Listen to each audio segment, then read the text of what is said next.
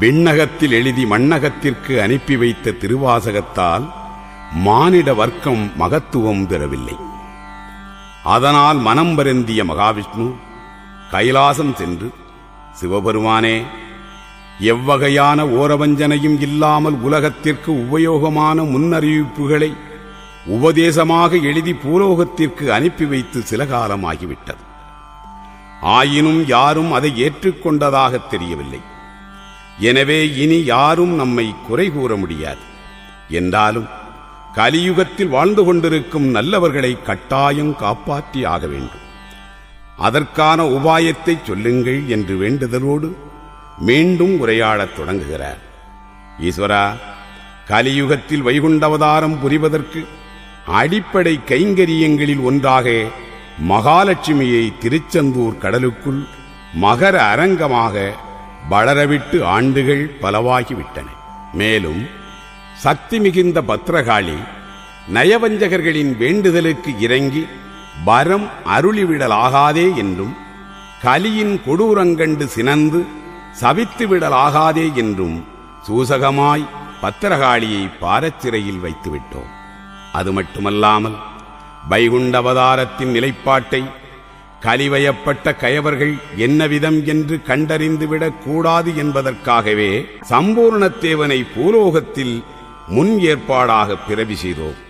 சம்பூர்ணத்தேவன் கருவுற்ற தோஷம் கழிவதற்கான காலமும் அடுத்துவிட்டது. நாம் எழுதி அனுப்பி வைத்த திருவாசகச் செய்திகளால் கலிவயப்பட்டோருக்கெல்லாம் நல்ல குணம் ஏற்படும் என்றிருந்தோம். ஆனால் அழிவு காலத்தை அடுத்துக் கொண்டிருக்கும் நீசர்களின் மனத்தில் அந்த அளப்பரிய உபதேசங்கள் கொஞ்சங்கூட தங்கவே இல்லை. இன்னும் கலியின் கொடுமைகளை நாம் சகித்துக் கொண்டே இருந்தால் நம்முடைய வேண்டுகோளுக்கு இசைந்து பூலோகத்தில் பிறந்து வைகுண்ட அவதார வரவை எதிர்பார்த்துக் கொண்டிருக்கும் மேல்லோகத்தார்களெல்லாம் கவலையால் நலிந்து போவார்கள்.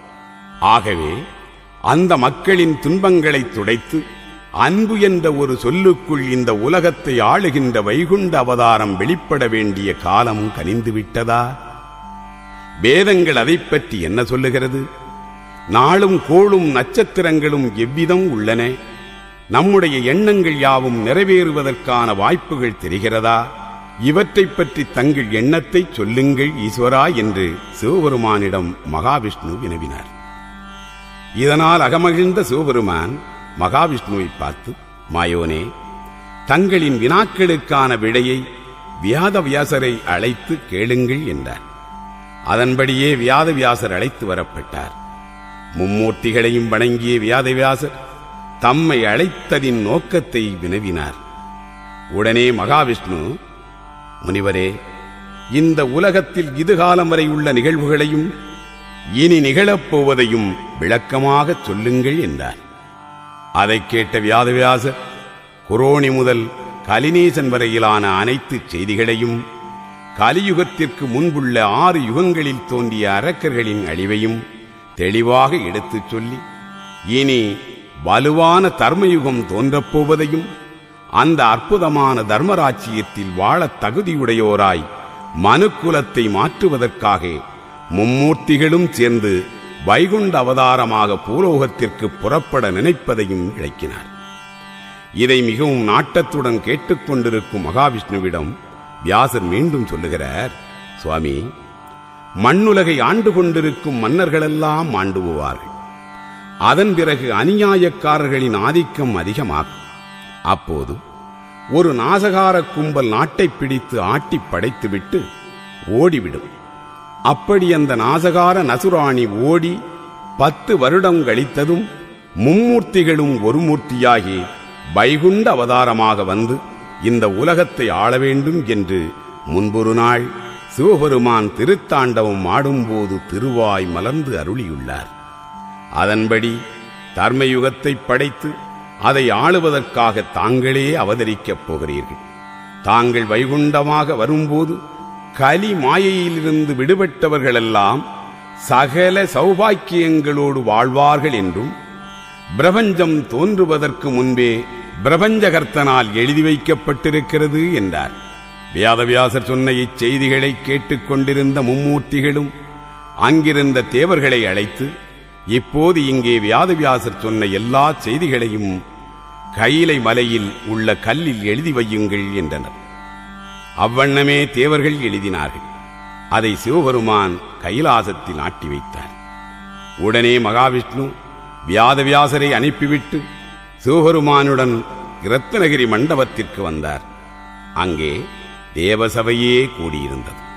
அந்த தேவசபையில் மகாவிஷ்ணு சொல்லுகிறார் தேவர்களே நான் இப்போது திருச்செந்தூர் கடலுக்குள் சென்று அங்கே ஞானத்தவமாக பள்ளி கொண்டிருந்து ஆன்ம பிரகாச பேரொளியாகிய மும்மூர்த்திகளையும் ஒருமிக்கச் செய்து தத்துவங்களை கடந்த ஓர் ஆன்ம ஜோதியாக உருவெடுத்து கலியுகப் பரிபாலனம் செய்வதற்காக வைகுண்ட அவதாரத்தை வெளிப்படுத்தி அனுப்பப் போகிறேன். அதுவரைக்கும் எல்லாரும் இங்கே இன்பமாக இருங்கள் என்று சூசகமாகச் சொன்னார். அதைக் கேட்ட சிவபெருமானும் ஏனைய தேவர்களும் அப்படியானால் நாங்களும் தங்களோடு வருகிறோம் என்றார். அவர்களை பார்த்து மகாவிஷ்ணு சொல்லுகிறார் சபையோர்களே நான் இப்போது நடத்தவிருக்கும் காரியத்தை மூவாதி மூவர்களாலும் முப்பெரும் தேவியர்களாலும் தேவர்களாலும் அறியவே முடியாது. எவர் ஒருவராலும் அறிய முடியாத அந்த உபாயச் செயலை நான் நிகழ்த்தி நிறைவேற்றிய பின்பே அறிய முடியும். அதாவது நடந்தால் அறிவார் நடக்கும் முன்னே ஒருவர் அடக்கமறியாத அருள் விஞ்சை அதுவா ஆகவே நீங்களெல்லாம் என்னோடு வருவது எனக்கு சரியாகப் படவில்லை அதற்காக நீங்கள் வரவேண்டாம் என்றாலும் வருத்தப்படுவீர்களே என்று அந்த செப்படி வித்தைநாதன் தம் மறுப்பிலேயே அழைப்பையும் வைத்தார். அதை புரிந்து கொண்ட சபையோர்கள் எங்களுக்கு தெரிகிறதோ தெரியாமல் போகிறதோ எப்படியானாலும் தங்களோடு நாங்கள் வந்தே தீருவோம் என்று பிடிவாதமாக கூறி மகாவிஷ்ணுவோடு புறப்பட்டார்கள்.